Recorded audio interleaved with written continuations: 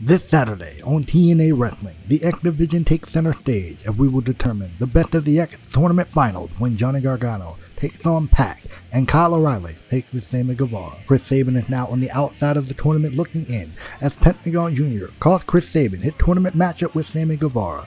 Now ahead of Destination X, Chris Sabin can get a measure of revenge when he faces Pentagon Jr. one-on-one. And our X Division champion returns as Christopher Daniels takes on Cedric Alexander. TNA Wrestling live this Saturday right here only on YouTube.